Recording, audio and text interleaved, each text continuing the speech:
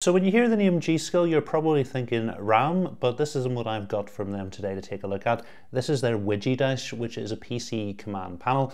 It's a 7-inch panel which you can customize, use it for a variety of functions on your PC. In the UK, it's going to cost you just under £130. So let's go ahead and get it unboxed and take a closer look at it.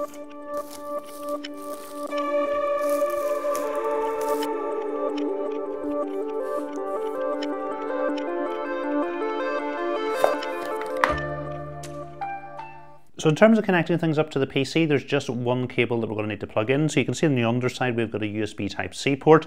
So we can plug in our Type-C cable. And then on the other end of the cable, we've got a USB Type-A port, which we need to simply plug into our PC.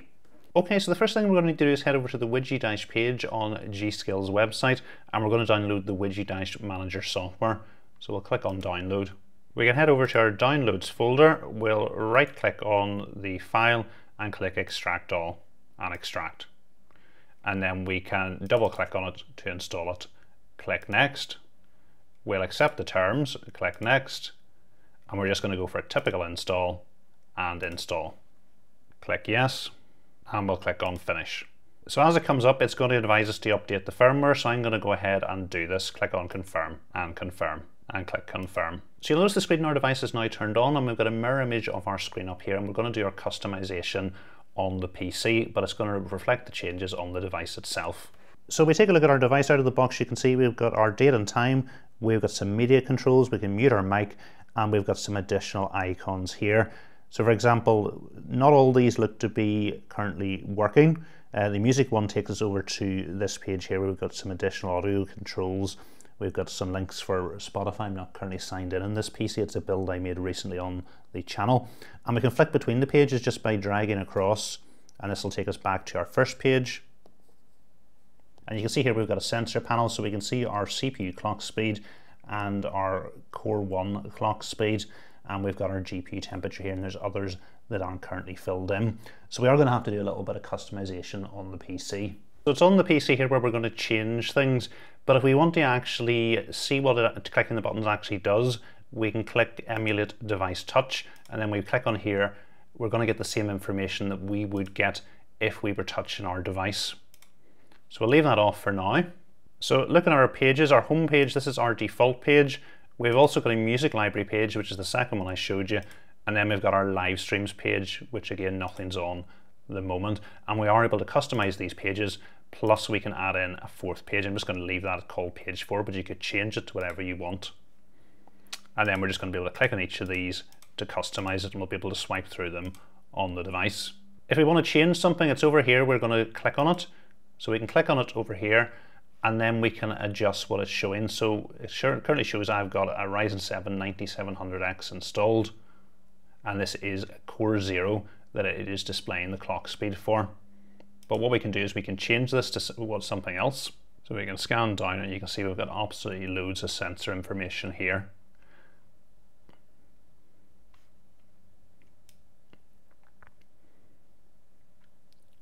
So it's really just take your pick.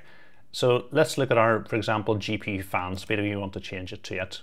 Okay, so take a look at. What else we can do? So for example, if we take a look at this folders, um, at the moment we've got the image. If we want to upload a different image, we can pick whichever image we want to appear here. So we've got a whole variety of different images here that we can pick. So for example, if we wanted to change that to this, the icon is going to change. Again, there's lots of options for changing the design, and the hotkey there's currently no action for it so let's add an action so we can click on the icon at the moment it's currently doing nothing we can pick what we want it to do so for example if we wanted to open this open a URL we could have that so what I could do is paste in the link to my YouTube channel and click on save I'm just going to change the icon to the YouTube icon and click select and if I want to test how this works, I can do it on the device, but I'm just going to go and touch it to see how it works. And you see now on the PC, it has opened up the link. If we want to add an additional widgets, we've got some here. So there's AIDA64, we've got the audio visualizer, and we've got the clock. But we can head over to the marketplace, and you'll see there's a whole load of additional things that we can install. So let's try the weather and we're going to have to restart the manager, so let's do that. Okay, so to add a device, you're going to pick the size that you want. So we've got 2 by 1 or 3 by 2 So the first one is the x-axis, the horizontal, and then y is the vertical. So we do have a 2 by 1 space at the top of our home page. So I'm simply going to drag the weather. If I wanted the 3 by 2 I would change it and it would highlight in blue. And then we'll drag the icon up to the top. So we'll just bring this up a little bit and we'll take a look at our weather options. So I'm going to use metric units. So we've now got over to degrees C and I just need to change the location. So I'm going to type in where I am. So it's now found Belfast in the United Kingdom and we'll accept that. So you can see now we've got the weather and actually for the end of November this is a pretty nice temperature and at least it's not raining just at the moment. So say you don't want something on the device, we can click on it and click delete and we'll add a picture in this place. So let's pick a one by one picture and we'll drag the picture over. So we can customize this. So we're going to have it as a single image. We'll just drag this up and make a little bit more room. And we need to select our image. So let's click select. We can click browse if we want to add our own pictures in. And I do think I've got my logo saved here. So let's click open and click on select. So you take a look on the device, you now see that my logo has appeared. It's also possible to change the images for the other buttons. So say we want to keep the function it has, and you can see we've got the image, it's found from here. So we can click here if we want to change it to one of our own. We can click on the browse, we'll head back to our pictures where we've got the official YouTube logo, and we click on open, and then all we need to do is click on select. And then you can see on the device we've got the YouTube logo. So this is just definitely a great way to add a little bit of color to the device.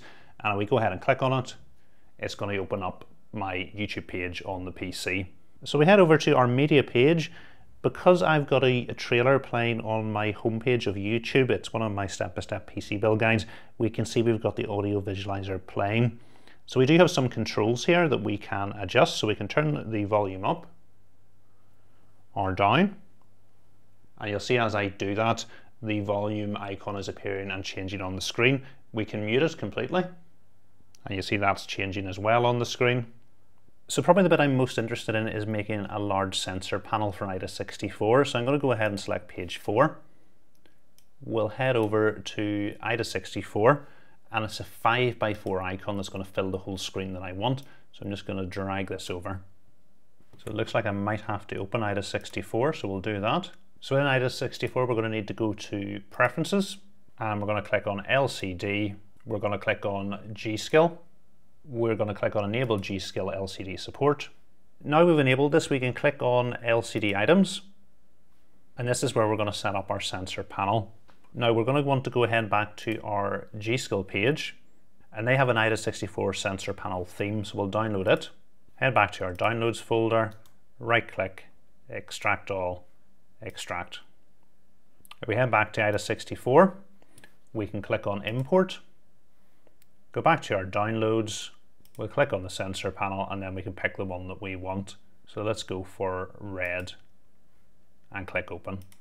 And then let's click on apply. And we can see all the information on the device itself. If we want to modify anything, we can. So for example, we can click on the GPU tab and we'll click on modify. So we've got options to change what comes up in it, the size, the color. Um, I'm just going to change this over to RTX 4070 and click on OK. And you'll see now this has changed on the display. So it'd just be a matter of changing exactly changing it to exactly what you want it to. Let's say we run a stress test. Let's see how it shows up on the device and we'll click on start. So we take a look over our CPU. You can see it's currently running at 100%. We can see the power draw and we can see our current temperature and also our clock speeds. GPU is also up at 100%. We've got the power draw, we've got the temperature and our clock speeds and also how much VRAM we're using. Memory, we're up at 96% at the moment. And you can see it's only running at 4800 megatransfers per second. So I need to go enable the Expo. And we can see our current fan speeds for our GPU and our CPU fan. So I've shut AIDA64 down and we've now just got a red screen on the device. So it does look like we're going to have to have AIDA64 running to get anything appearing on this. So we click yes again. So you are actually, as well as having the Dash manager running, you're going to have to have AIDA64 running in the background for the screen to be populated. So hopefully you find this quick unboxing and overview of the G Skill WigiDash useful.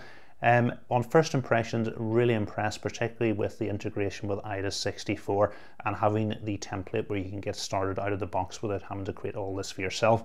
I imagine a lot of the home screens you are going to want to go in and do a lot of customization and I definitely think adding these nice bright color logos for the buttons is going to really personalize it and make it much more pleasant to use. Um, so for me I think it is just seeing what it can do and setting up the buttons for the main features I use on my PC but I think I would actually probably change the home screen over to the AIDA64 panel so I'm keeping a close eye on what's going on with the PC when I'm doing various tasks. So I suppose the only downside is you're going to have more software running in the background, not only G.Skill software, but if you want the AIDA64, you're going to have the AIDA64 running all the time as well. And I'm not a big fan of having additional things running in the background. So you're just going to have to weigh up, is that worth it or not for you for this functionality?